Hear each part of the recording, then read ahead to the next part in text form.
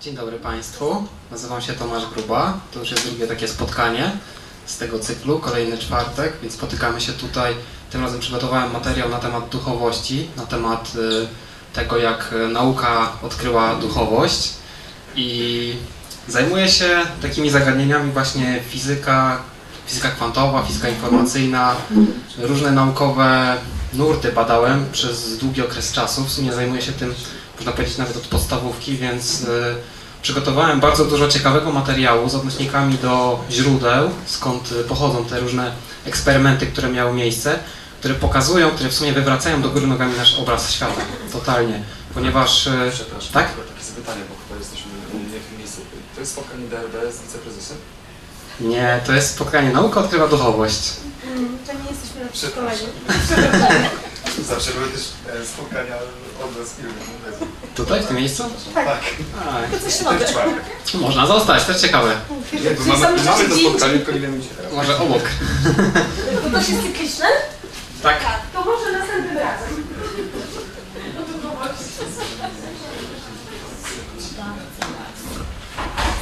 Tak więc e, przedstawiony jest e, powszechnie jakiś taki materialistyczno-mechanistyczny obraz świata, gdzie my jesteśmy fizycznością, można powiedzieć fizycznym, fizycznym byt, bitem, bite, bytem, fizyczną istotą, a jednocześnie pewne eksperymenty, pewne wydarzenia, które miały miejsce w świecie nauki, nie tylko, po prostu są pomijane, żeby trzymać cały czas ten koncept mechanistyczno-materialistyczny, który z pewnych, e, zobaczycie później, powodów ma miejsce. Więc tak, najpierw przedstawię Wam e, w ogóle pewne rzeczy, dlaczego nauka w ogóle wygląda dzisiaj tak, jak wygląda. Po, pokażę Wam też historię nauki, w jaki sposób ona ewoluowała, dlaczego w ogóle mamy dzisiaj taką myśl filozoficzną, dlaczego dzisiaj myślimy w ogóle w ten sposób, że rzeczywistość jest przede wszystkim materialna. A potem przedstawię Wam eksperymenty i na sam koniec jeszcze przedstawię Wam informacje o tych najważniejszych dokonaniach, jak, jak współczesna nauka w ogóle teraz e, e, prezentuje świat, jak to w ogóle wygląda w tym momencie. No dobrze, to zaczniemy, więc e, są to naprawdę niezwykłe osiągnięcia w astronomii, chemii, biologii, psychologii, filozofii i fizyce, które doprowadziły do faktycznego odkrycia tego, że nie jesteśmy tylko materią, nie jesteśmy tylko bytem materialnym, a rzeczywistość dyktuje się trochę innymi prawami niż to, jak, e, niż to, że, niż, tak, niż to, tak jak postrzegamy, że tylko fizycznymi rzeczami można ją na przykład zmieniać. Więc e, zacznę od, e, od tego, że obraz e, w fizyce, który nam się serwuje w szkołach, to jest bardzo okrojony obraz fizyki sprzed 300 lat, fizyki newtonowskiej, plus paru jeszcze innych znanych, znanych osób, ale generalnie one, ta fizyka ona jest użyteczna, a jednocześnie nie przedstawia nam pełnego obrazu, jak ten świat naprawdę wygląda. Więc fizyka, która jest przedstawiana nam w nauce, jest fizyką, która jest dobra, żeby wyprodukować dobrego pracownika, żebyśmy mieli podstawowe pojęcie, jak działają nam jakieś, y, na przykład jak działają podstawowe newtonowskie prawa, mechaniki, ale jeśli chodzi o jakieś bardziej filozoficzne zagadnienia i, i egzystencjalizm, to niewiele tutaj y, dostajemy informacji na temat, kim właściwie jesteśmy, czym jest rzeczywistość, w jaki sposób ona działa, o co tutaj właściwie chodzi. A te odpowiedzi są. Są fizyka nauka w jakiś sposób y, dokopała się do tych płaszczyzn. Ja chciałem Wam zaprezentować najpierw w jaki sposób, y, zanim przejdziemy dalej i zobaczymy, co tu, o co tu właściwie chodzi, w jaki sposób w ogóle nauka funkcjonuje. Dużo osób y, krytykuje współczesną naukę, że jest też zamknięta jak Kościół albo jak religia w pewnych ramach, których nie, nie przekracza. Jest to, jest to po części prawda. Nauka działa na zasadzie metody naukowej i sceptycyzmu, czyli generalnie odrzucania wszystkiego, co nie da się potwierdzić naukowo i to jest bardzo dobra metoda. Za chwilkę zobaczycie właśnie dlaczego, chociaż e, ludzie, ludzie uważają, że właśnie przez te właśnie ten sceptycyzm i tą metodę naukową nie wszystko, nie wszystko co istnieje może być akceptowane przez naukę, ale jednocześnie dzięki temu nauka mogła ewoluować, podczas gdy na przykład religia nie ewol- ewoluowała.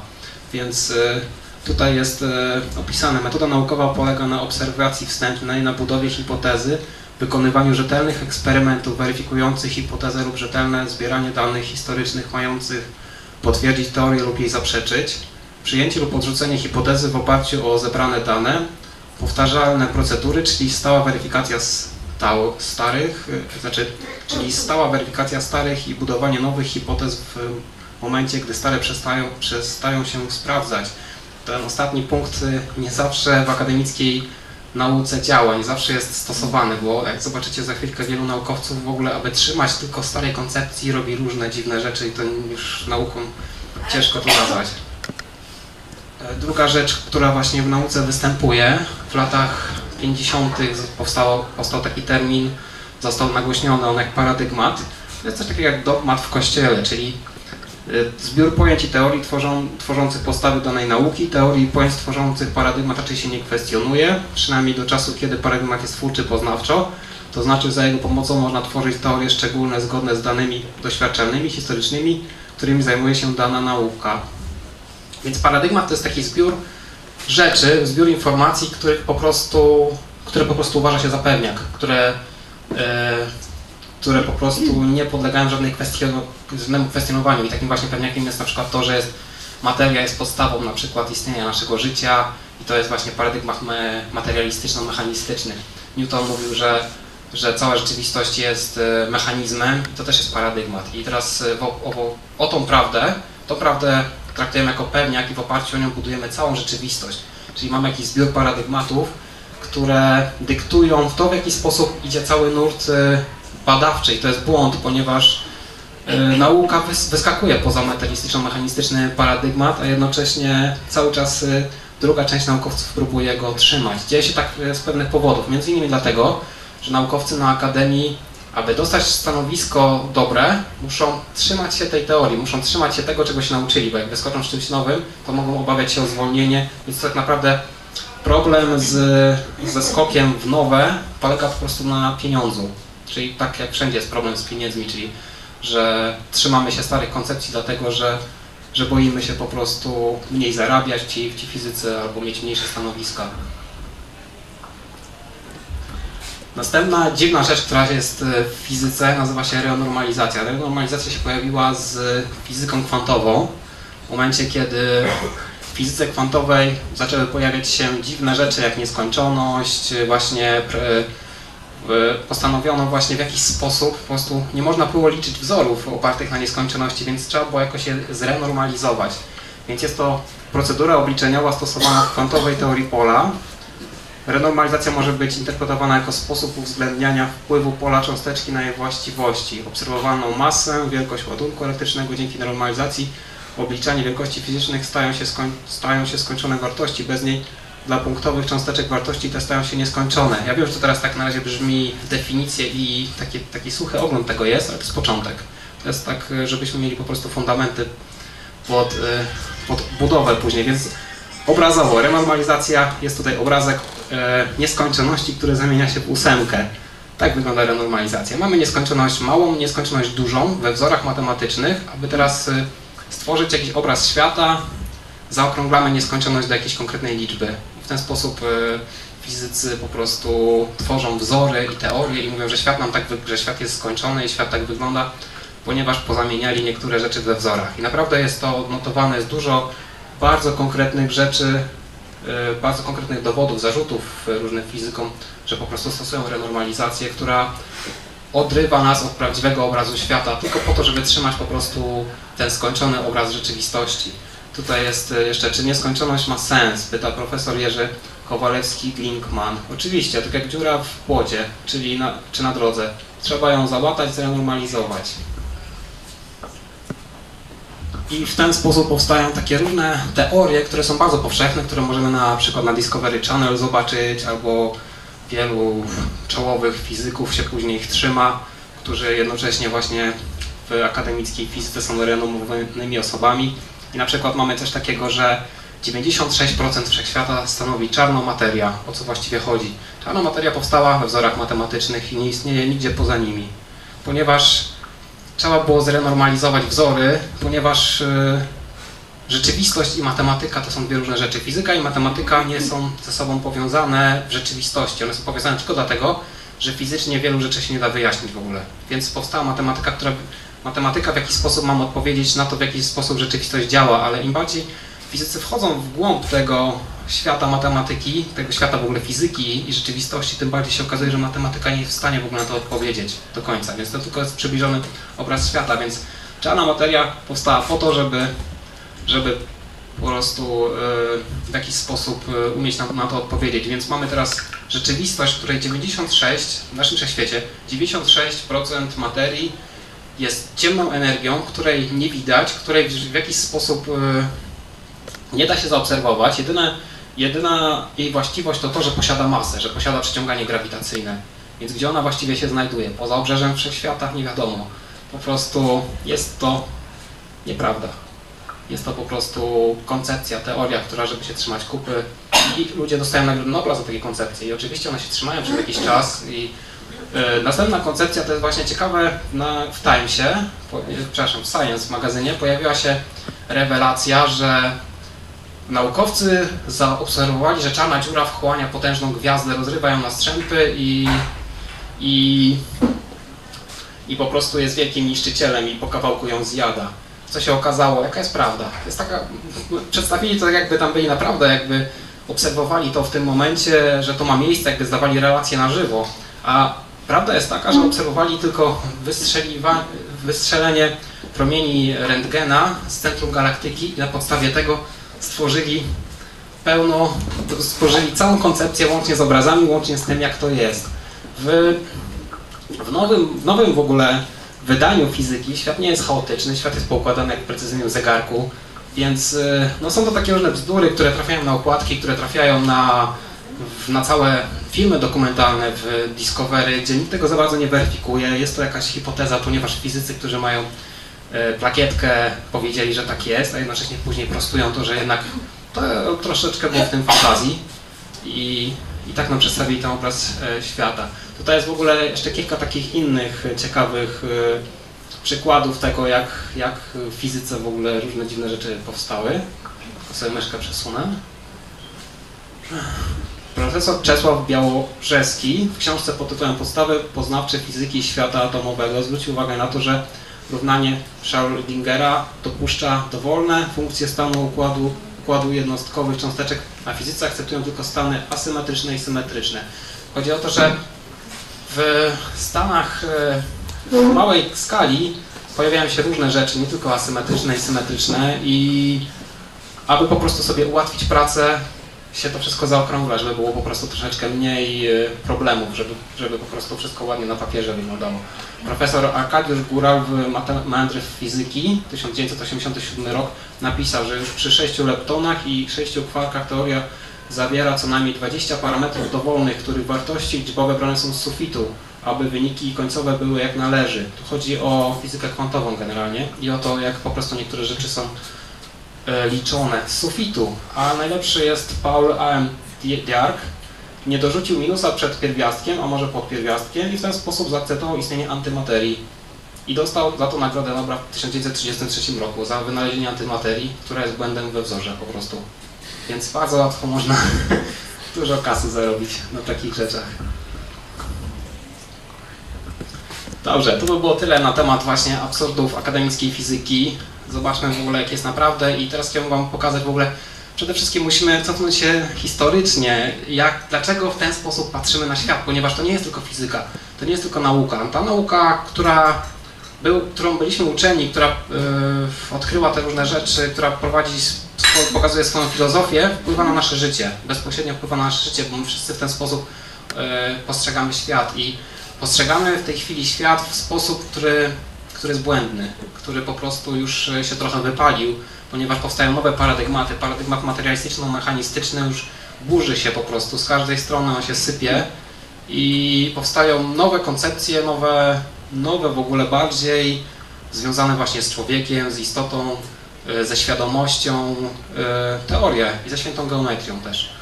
Więc e, starożytna Grecja. Dlaczego starożytna Grecja? Bo tam się w sumie zaczęło wszystko odnośnie naszej nauki. Tam powstały wszystkie stwierdzenia naukowe, ważniejsze, tak jak atom na przykład, ruchy ciał niebieskich, etyka. Wszystko się pojawiło w tym czasie. Filozofia przedsokratejska, czyli Pitagorejczycy, przyjmowali następujące założenia. Dusza, dusza ludzka istnieje oddzielnie od ciała, podlega wędrówce i może łączyć się z dowolnym ciałem. A na pytanie, jak powstał świat, odpowiadali, początkiem istotą świata jest liczba. I tu chodzi o liczbę phi, ponieważ Pitagorejczycy znali w jakiś sposób świętą geometrię. E, Trójkąt pitagoryjski, jak ktoś był na poprzednim spotkaniu o świętej geometrii, to właśnie Pitagorejczycy, y, y, na przykład figury platońskie, to z tamtego okresu to wszystko pochodzi. Więc generalnie mieli jakąś ciekawą wiedzę na ten temat. Filozofia sokratejska, która też jest y, dość znana. Sokrates twierdził, że jest jedynie miłośnikiem mądrości, filozofem i poszukiwaczem prawdy i sam nie posiada wiedzy, której mógłby nauczać. Wiem, że nic nie wiem. Dokonał on całkowitej reorientacji zainteresowań filozoficznych z filozofii przyrody na człowieka wyposażonego w duszę. I So- Sokrates został za to oskarżony. To jest napisane, Sokrates został oskarżony o nie wyznawanie bogów, których y, uznaje państwo, wyznawanie innych bogów, których nie uznaje państwo i psucie młodzieży. Dzisiaj też takie rzeczy mają miejsce, tylko że trochę w innym y, wydaniu. No, Sokrates za to swoim życiem przepłacił, ponieważ nawet specjalnie nie chciał się bronić przed tym werdyktem. Więc y, tutaj to jest po prostu obraz tego, jak y, zakostniały po prostu konserwatyzm doprowadził do śmierci człowieka, który widział zupełnie nowy sposób widzenia świata. I jeszcze mamy Platona i Arystotelesa z Grecji. Świat realny, rzeczywisty, pl- platonizm. Świat realny, rzeczywisty, w jakim żyjemy, jest ułomnym odbiciem świata doskonałego, nazywanego światem idei. Człowiek oprócz materialnego ciała podlegającego procesowi zniszczenia posiada niematerialną część, duszę, która w chwili śmierci zmierza w kierunku świata idealnego. To były takie pierwsze koncepcje w sumie nauki, połączyć naukę z duchowością w jakiś sposób. Chociaż nie mieli w tym czasie tych narzędzi, tego co my dzisiaj odkryliśmy, badając ten drobny, subatomowy świat i też tę wielką skalę, ale mieli ciekawe bardzo teorie i sposób e, postrzegania świata. Dusza ludzka, sta, arystotelizm, dusza ludzka stała się najdoskonalszą z form jedyna, która posiada zdolność rozumienia świata zewnętrznego i świadomość samej siebie. Jako najdoskonalsza jest też najbliższa połączenia z Bogiem. Dusza jest jednak tylko formą materii, nierozerwalnie z nią związana. Dusza i ciało człowieka tworzą więc swoistą całość, a nie dwa oddzielne byty. Uważa, y, właśnie Pitagoras i Arystoteles uważali, że piąty element kreacji to eter. Eterowi się bardzo dużo przy, przyjrzymy, ponieważ dzisiaj fizyka mówi o czymś takim jak pole. Pole to jest taka nowoczesna nazwa eteru, ponieważ żaden fizyk już nie nazwie nic eterem, bo to jest y, bluźnierstwo, żeby eter z powrotem wrzucać do nauki. E, No właśnie, powstały te teorie atomu, ruchów, ciał niebieskich, etyki, bazowe nazewnictwo całe. No więc y, teraz przedstawmy, jaki jest średniowieczny obraz naszego świata, ponieważ właśnie stąd się wywodzi to, w jaki sposób postrzegamy dzisiaj rzeczywistość.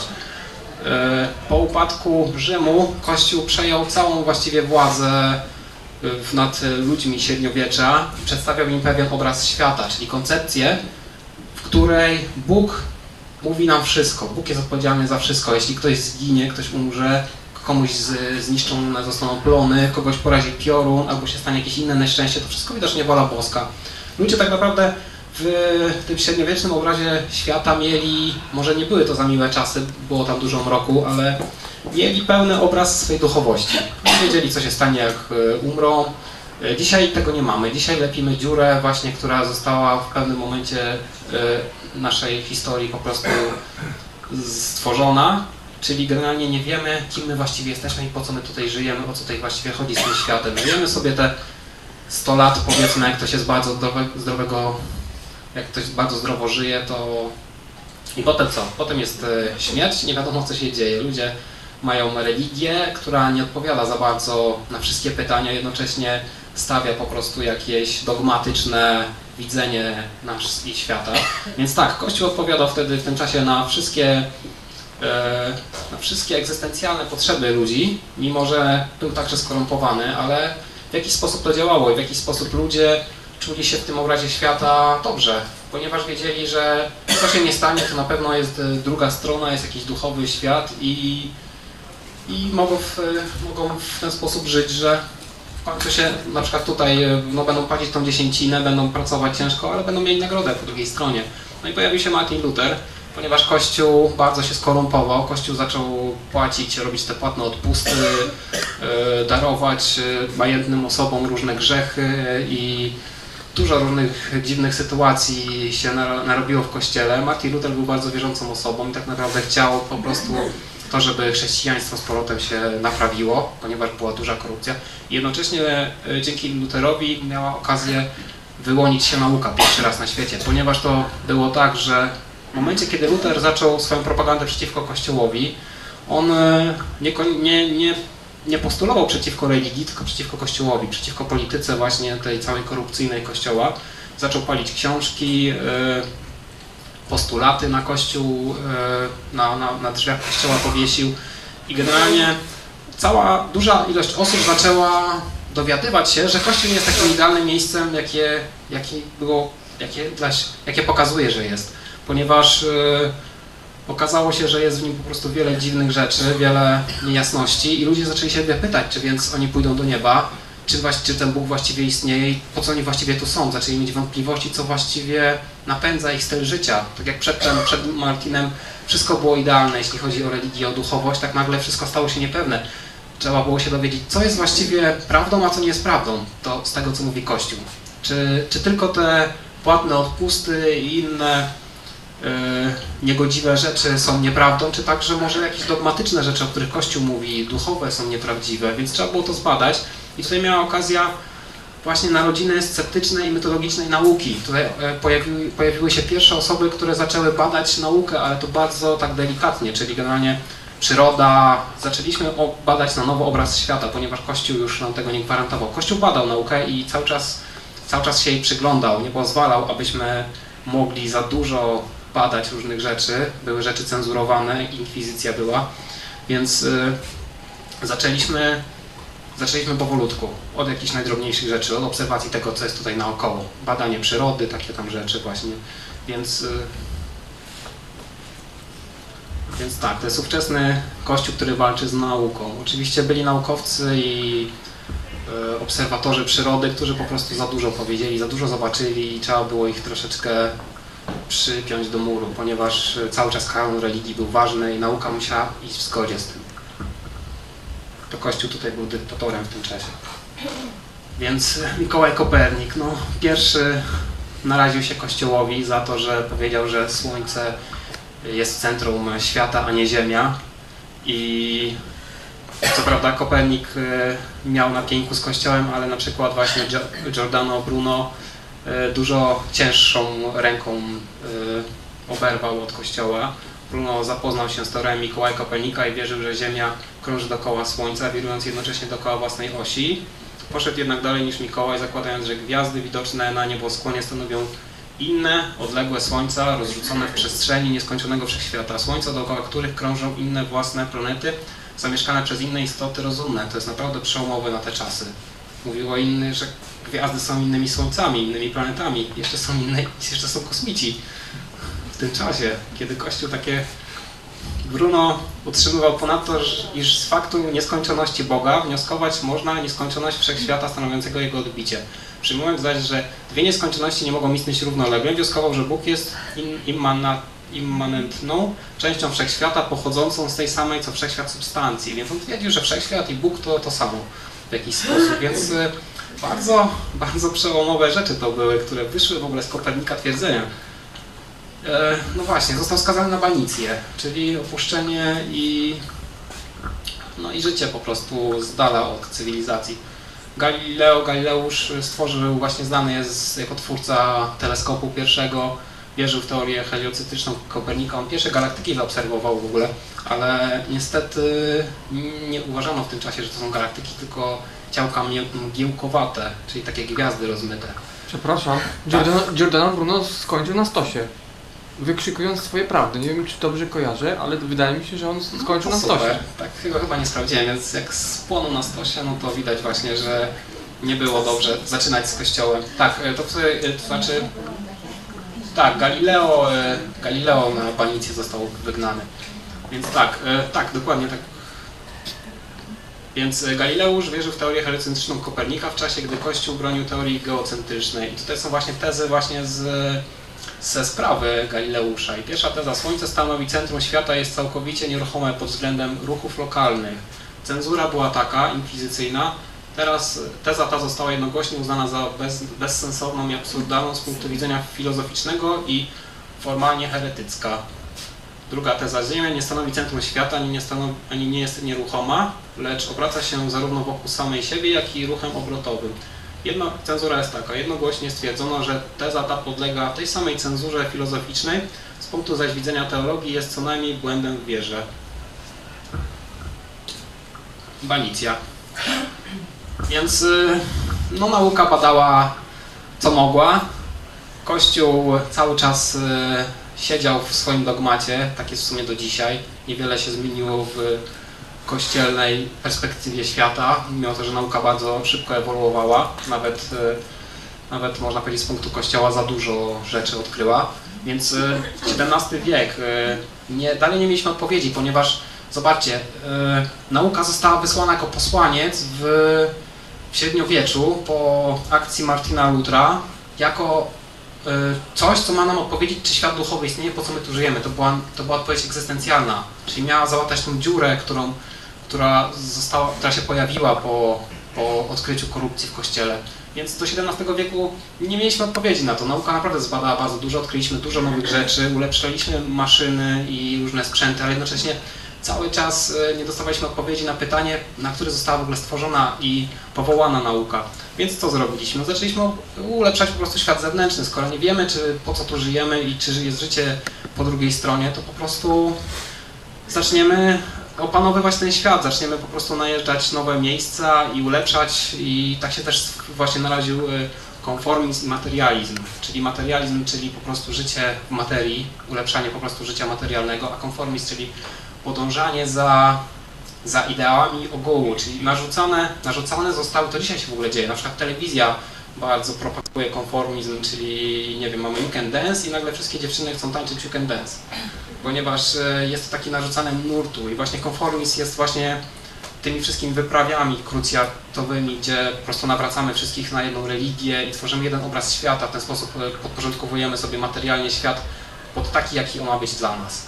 Takie coś zaczęło się pojawiać w XVII wieku. I więc e, tutaj zaczęła się dopiero nasza nauka i tutaj zaczynają się też przepisy, przypisy do nauki, do, do tych wszystkich rzeczy, eksperymentów, które będą miały miejsce. Isaac Newton, który jest w sumie ojcem całej nauki, to on stworzył podwalinę, pierwszy podręcznik w ogóle matematyczny, czyli to filozofia, filozofia liczb. 320 lat temu, 320, dobrze mówię, tak, narodziny fizyki klasycznej opartej na trzech zasadach dynamiki Newtona. Świat jest mechanizmem, punktami. Newton wierzył w eter jako podstawę grawitacji. Też zwróćcie uwagę właśnie na ten eter, ponieważ później będziemy oglądać wszystkich czołowych naukowców, co oni wierzyli, jaki jest świat. Więc e, od Newtona się zaczęło, od Newtona się zaczęła cała mechanistyczna koncepcja świata. Teraz świat jest nie tylko materialny, ale też mechanizmem jest. Do dzisiaj tak e, dużo ludzi uważa, że, że jest materialny i że jest mechanizmem. E, w 1789 roku zostały zdefiniowane pierwsze pierwiastki, zdefiniowanie pierwiastka chemicznego, a w 1803 powstanie naukowej teorii atomu. I e, Antoni Lowesser uważał, że każdy pierwiastek składa się z atomów jednego unikalnego typu i że te atomy mogą się łączyć, tworzyć związki chemiczne. Ponadto postulował, iż atomów nie da się już dzielić chemicznie. Czyli zobaczcie, wcześniej uważano, że wszystkie substancje polegają na powietrzu, wodzie, ziemi i ogniu. I tutaj właśnie jest na środku taki właśnie wykresik i ponadto jeszcze był ten eter, który był duchem, który przemierzał wszystko i był w każdej substancji. I tutaj zaczynają się pierwsze ciekawe rzeczy dziać. Co prawda zacząłem to badać światło. E, ten eksperyment, pierwszy eksperyment ze szczelinami miał miejsce w 1805 roku.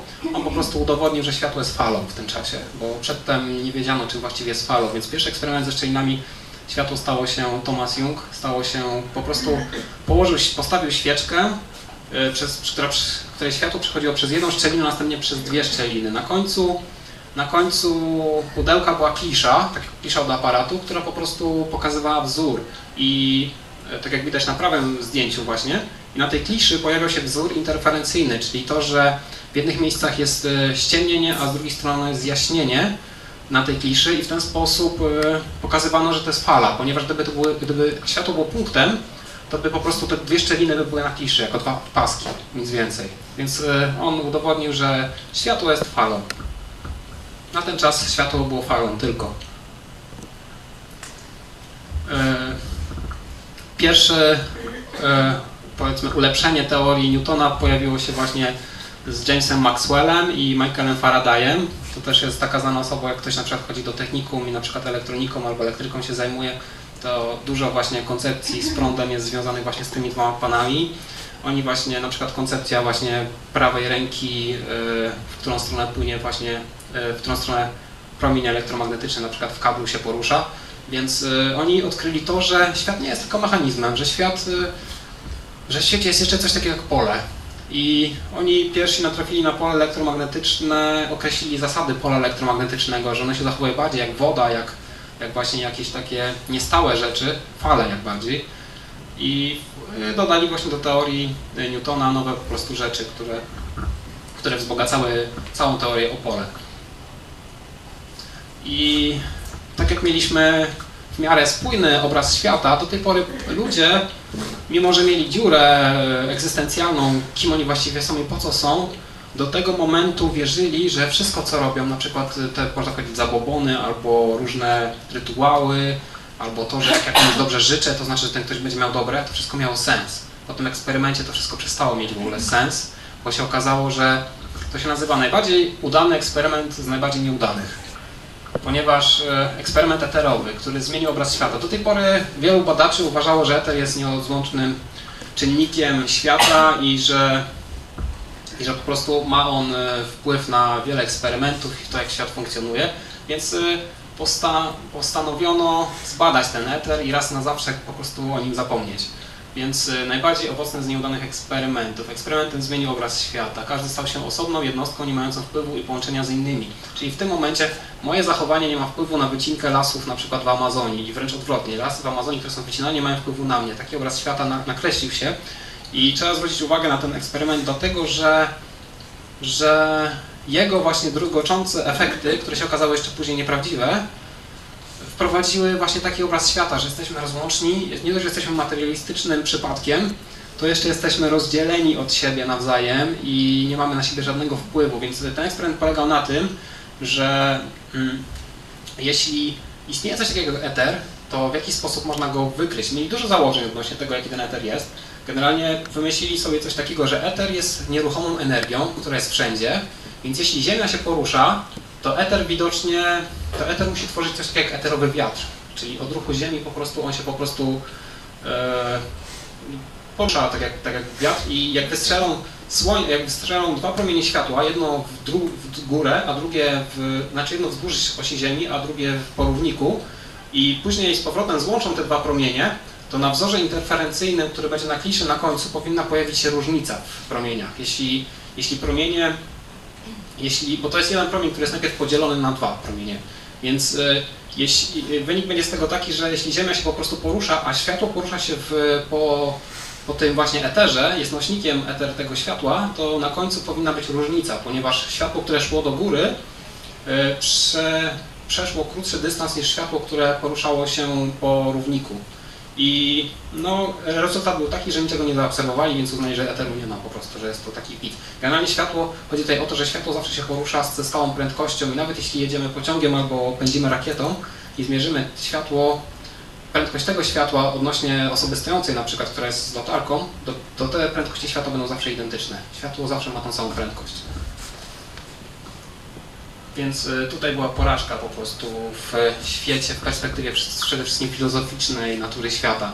Y, bardzo szybko naukowcy w ogóle się brawa, było dużo braw i bardzo im się spodobała właśnie ta koncepcja, że eter nie istnieje, raz na, na zawsze możemy teraz materialistyczną, y, całą matematyką sprawdzać świat i będzie super. Ale co się później okazało? Znaczy tutaj mam e, Indianie. Indianie wiedzieli o czymś właśnie, o czymś bardzo ważnym, zanim jeszcze to pokazała nauka. Wódz Seattle przekazuje wiadomość dla rządu Waszyngton, to jest XIX wiek. Zniszczenie dzikich rejonów ziemi będzie miało daleko idące konsekwencje zagrażające przyszłym generacjom ludzi. Człowiek nie utkać sieci życia, jest w niej jedynie jest w niej zaledwie nitką. Cokolwiek czyni on sieci, czyni to sobie. I kolejny też ciekawy cytat z Indian. Pokój nadejdzie do ludzkich serc, gdy zrozumieją oni swoją jedność ze wszechświatem, gdy zrozumieją to, że jest on wszędzie i w każdym z nas. I tak właściwie będzie, jeśli człowiek zrozumie naukę i co pokazuje nam współczesna nauka, to, to zrozumie, że jest częścią rzeczywistości, że to nie jest tak. To o tym może jeszcze będzie, jak będą te slajdy. Więc y, 1900, y, tutaj zaczyna się fizyka kwantowa. Max Planck, pierwsza osoba, która zaczęła zupełnie inaczej patrzeć na rzeczywistość.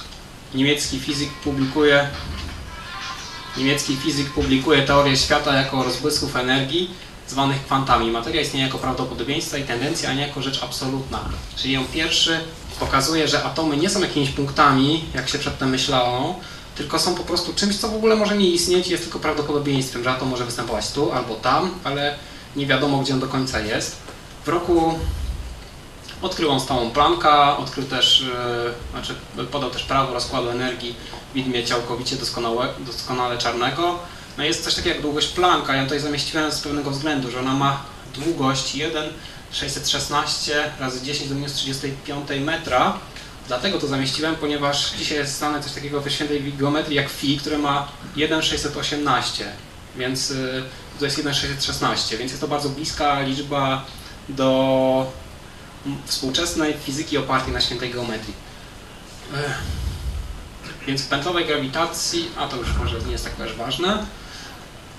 Max Planck w ogóle był bardzo był geniuszem i ojcem fizyki kwantowej. To jest bardzo, bardzo mądra osoba. Albert Einstein był zaraz za nim następną osobą, która bardzo pozmieniała obraz świata. Do tej pory myśleli, myśleliśmy, że czas jest y, takim dyktatorem, że on cały czas jest stały, nic się nie zmienia, nie możemy nic w ogóle zrobić z czasem i z przestrzenią i rzeczywistość także nie jest, jest jakaś taka stała, a nie względna i Einstein po prostu zburzył koncepcję tego, że rzeczywistość w ogóle jest czymś takim e, nieruchomym, statycznym bardziej. Generalnie w 1905 roku właśnie stworzył R równa się kwadrat, czyli publikuje szczególną teorię względności. Publikacja ta daje początek fizyce względności. Czas jest względny i tworzy jedno z przestrzenią. Wprowadza ona także związek między masą a energią. Równa się mc kwadrat, czyli energia równa się materii razy prędkość światła do kwadratu. Dużo osób się pyta, dlaczego prędkość światła do kwadratu. Dlatego, że prędkość światła zawsze jest stała, nie jest nigdy przyspieszona, więc tutaj energia jest, y, to jest coś takiego, jakby przekształcić ten wzór, to jest energia razy prędkość światła równa się materii razy prędkość światła. Dlatego jest y, po prostu ten kwadrat zrobiony. Energia i materia mogą być zamienne, wszystko jest energią, czyli pierwszy raz pokazał, że nie ma czegoś takiego jak rozdział, podział na energię i materię, tylko że tak naprawdę materia jest energią, która jest spowolniona do wolniejszej wibracji i jest ona po prostu postrzegana przez nasze zmysły jako coś namacalnego. Więc Einstein pokazał tak samo czas. No, no sprawdzano po prostu wyniki tej teorii w na przykład y, dwóch zegarach atomowych. Jeden zegar atomowy był umieszczony na Ziemi, drugi w samolocie i były różnice w czasie, więc się okazało, że im szybciej podróżujemy, tym czas jest, y, tym czas podróżuje, tym czas y, pędzi wolniej, więc z tego założenia wychodzi na to, że żeby na przykład przelecieć całą galaktykę potrzebujemy 2 miliony lat świetlnych, a jednocześnie, żeby dla światła to będzie tylko 40 lat, jeśli będziemy pędzić z prędkością światła. Więc generalnie chodzi o to, że czas nagle stał się czymś, y, czymś co już nie jest dyktatorem, gdzie jest y, zależny od obserwatora, od prędkości, od masy, od ciężaru, więc dużo się pozmieniało w obrazie świata. Ale generalnie jeszcze się nie zmieniło prawie nic w obrazie duchowości. E, W 1909 roku powtórzono eksperyment właśnie tak jak ze światłem było wcześniej. Teraz powtórzono eksperyment jungowski ze szczelinami, ponieważ naukowcy chcieli się dowiedzieć, czy elektron jest też y, falą, czy jest punktem, tak jak przedtem było z fotonem, czyli z światłem. Więc y, ten eksperyment nosi nazwą, naz- nazwę kwantowe dziwactwo, ponieważ pokazał jedną z najdziwniejszych rzeczy w fizyce, jaka miała miejsce. Y, Elektron po przejściu przez jedną szczelinę jest punktem, po przejściu przez dwie szczeliny staje się falą. Obserwator zmienia wynik eksperymentu. Od tej pory sz- szuka się sposobu, aby włączyć świadomość do równań. Chodzi tutaj o to, ja to bardziej zaprezentuję na filmiku, który zaraz puszczę, po prostu ładniej to pokażę. E, wszystko było ładnie, elektron zachowywał się jak fala cały czas, chociaż elektron jest e, i falą i punktem. Właśnie w tym momencie się narodził, w tym miejscu, w 1909 roku narodził się model korpuskularno-falowy, czyli to, że cząsteczki mogą być falami i mogą być punktami, ale najdziwniejsze w tym wszystkim jest to, że aby to wszystko działało, potrzebny jest obserwator, że generalnie osoba, ludzka świadomość ma wpływ na to, czy, punkt jest, czy coś jest punktem, czy coś jest świadomością. To tak zadziwiło fizyków, że, no, że po prostu zaczęli oni szperać, czy my przypadkiem nie jesteśmy tylko jakimś po prostu materialnym obiektem, który jest obok, czy może nasza świadomość i nasze myśli mają bezpośrednio wpływ na rzeczywistość.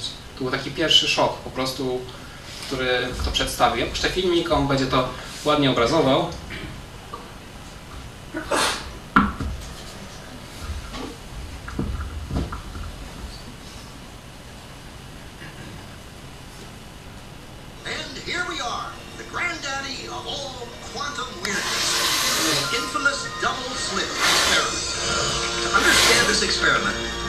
Need to see how particles, or little balls of matter, act.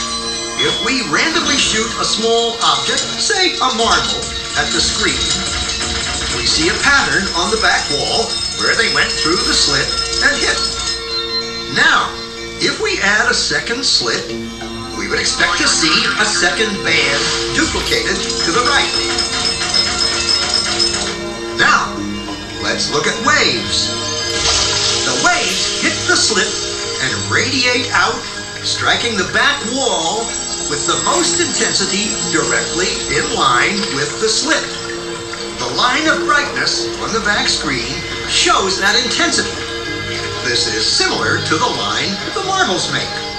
But when we add the second slit, something different happens. If the top of one wave meets the bottom of another wave, they cancel each other out.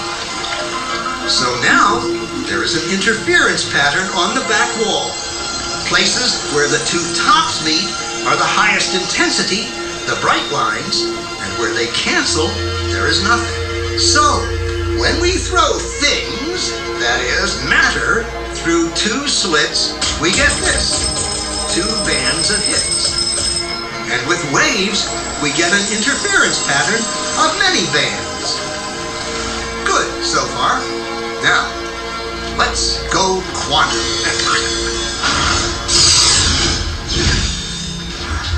An electron is a tiny, tiny bit of matter, like a tiny marble. Let's fire a stream through one slit. It behaves just like the marble, a single band. So, if we shoot these tiny bits through two slits, we should get, like the marbles, What? An interference pattern. We fired electrons, tiny bits of matter through. And We get a pattern like waves, not like little marbles. How? How could pieces of matter create an interference pattern like a wave? It doesn't make sense. But physicists are clever. They thought maybe those little balls are bouncing off each other and creating that pattern. So they decide to shoot electrons through one at a time. There is no way they can interfere with each other. But after an hour of this, the same interference pattern is seen to emerge. The conclusion is inescapable. The single electron leaves as a particle, becomes a wave of potentials, goes through both slits, and interferes with itself to hit the wall like a particle. But mathematically, it's even stranger. It goes through both slits and it goes through neither. And it goes through just one and it goes through just the other. All of these possibilities are in superposition with each other. But physicists were completely baffled by this. So they decided to peek and see which slit put a measuring device by one slit to see which one it went through and let it fly. but the quantum world is far more mysterious than they could have imagined. When they observed, the electron went back to behaving like a little marble. It produced a pattern of two bands, not an interference pattern of many. The very act of measuring or observing which slit it went through meant it only went through one, not both. The electron decided to act differently, as though it was aware it was being watched. And it was here that physicists stepped forever into the strange, never world of quantum events. What is matter? Particles or waves? And waves of what? And what does an observer have to do with any of this? The observer collapsed the wave function simply by observing.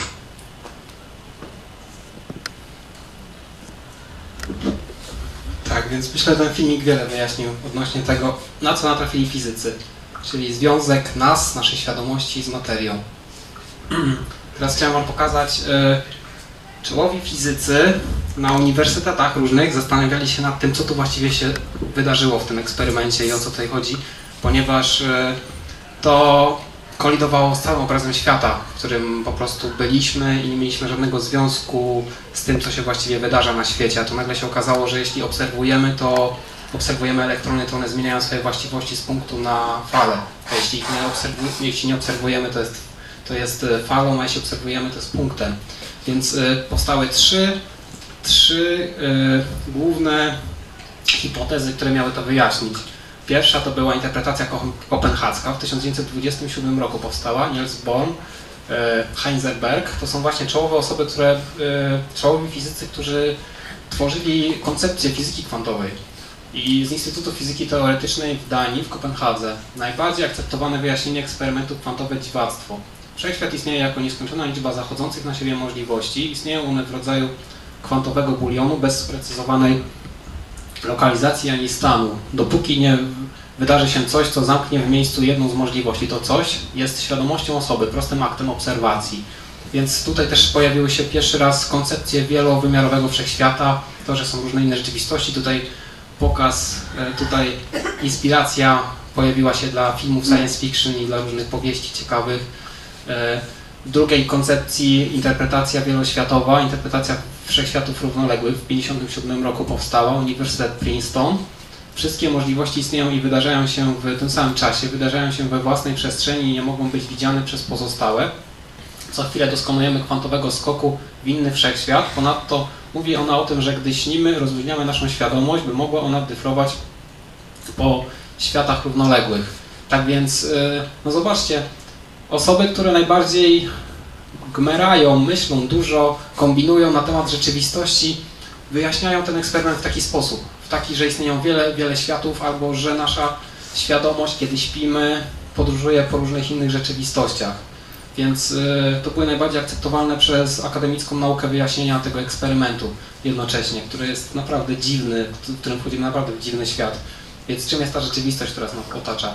E, To jest właśnie w tym drugim eksperymencie właśnie ciekawe, bo oni uwzględniają e, sprawę, tak, taką kwestię, że świadomość dokonuje kwantowego skoku w inne rzeczywistości i kiedy śpimy, jesteśmy na tyle nieświadomi tego, że po prostu tak jakby świadomość tworzyła też rzeczywistość snu i, i jednocześnie czym jest wtedy ta rzeczywistość, czym jest ta rzeczywistość, którą teraz tutaj tworzymy, jeśli ona się składa z tej samej materii, co rzeczywistość snu w tej koncepcji. Interpretacja Princetona, inne możliwości w wielu wymiarach są formami materii. Ta koncepcja została przyjęta jaka, jako taka też bardzo ważna, ponieważ ona uwzględnia materię, a fizycy są bardzo napaleni na materię. Generalnie jeśli coś w ogóle wytwarza grawitację, to to jest już koncepcja, która ma 80% szans na to, że, że jest prawdziwa. Grawitacja to jest taka bardzo ważna rzecz, żeby po prostu jakaś teoria miała miejsce, więc, więc teoria ta brzmi tak. Ponieważ każda materia tworzy grawitację, każda z możliwości ma swoje pole grawitacyjne, utrzymanie każdego stanu wymaga energii, a im więcej energii wymaga jakiś stan, tym mniejsze jest prawdopodobieństwo zaistnienia go w obserwowanej rzeczywistości. Ponieważ utrzymanie wszystkich stanów zużywa energię, załamują się one do pojedynczego stanu najbardziej najstabilniejszego, który postrzegamy jako rzeczywistość. Ona mówi o tym, że istnieją różne rzeczywistości, a one się załamują do jednej, do jednej rzeczywistości. Więc tutaj jaki związek ma z tym obserwator? Czy my naprawdę wybieramy do jakiej, w jakiej rzeczywistości postrzegamy, w jaki sposób w ogóle postrzegamy rzeczywistość? Ponieważ można wywnioskować z tego, że to my załamujemy funkcję falową całej otaczającej nas rzeczywistości, czyli rzeczywistość, kiedy nie obserwujemy jej, występuje w jakimś dziwnym falowym stanie, a jeśli ja na coś spojrzę, jeśli każdy z Was na coś spojrzy, bo każdy z nas jest obserwatorem, jest świadomością, to nagle w rzeczywistości yy, fale zamieniają się w punkty, więc rzeczywistość tworzy się na naszych oczach. To, to pokazali. Nie to, że my odbieramy rzeczywistość, ale że my ją tworzymy. Ten eksperyment przede wszystkim to pokazuje. I przynajmniej zmienia funkcję, wygasza funkcję falową, to się tak nazywa w fizyce. Konkluzje eksperymentu. Prawa fizyki nie są uniwersalne. Rzeczy w małej skali zachowują się inaczej niż w codziennym świecie. To też jest bardzo ciekawe, bo ludzie uważają, że prawa fizyki są fundamentalne, a to nie jest prawda. Prawa fizyki w skali małej, na przykład kwantowej, są zupełnie inne niż prawa fizyki, które są tutaj, w naszej skali, więc e, cząsteczki elementarne mogą skakać e, z jednej przestrzeni, teleportować się do drugiej, być w dwóch miejscach, w kilku stanach jednocześnie, to się nazywa superpozycja. Potrafią znikać z naszej rzeczywistości i pojawiać się później, elektrony tak robią. Elektrony mają spiny, e, w momencie ich obrotu czasem one są niewidoczne w naszej rzeczywistości, one wyskakują z naszej rzeczywistości, mają takie miejsca e, w pozycjach atomowych, e, gdzie w ogóle ich się nie obserwuje, a później w innym miejscu się obserwuje. Nie wiadomo jak one się pojawiły, tak jakby one wielowymiarowo jakoś podróżowały w, po orbicie atomu, jeśli one w ogóle podróżują, bo też jest koncepcja taka, że wcale atom, atomy wcale nie muszą wyglądać tak, jak nas uczą w tej chwili. Więc e, prawa fizyki nie są uniwersalne. To jest ciekawa hipoteza że z 1909 roku, pierwszy, pierwsza wzmianka jakaś o tym. Energia może przejawiać się jako cząsteczka lub jako fala, a czasem jako jedno i drugie. No właśnie, bo to wszystko jest energią. To jeszcze bardziej dowodzi na to, że wszystko jest energią, a energia ma postać przede wszystkim falową. Świadomość obserwatora determinuje sposób, w jaki dana energia się zachowuje i tutaj właśnie związek.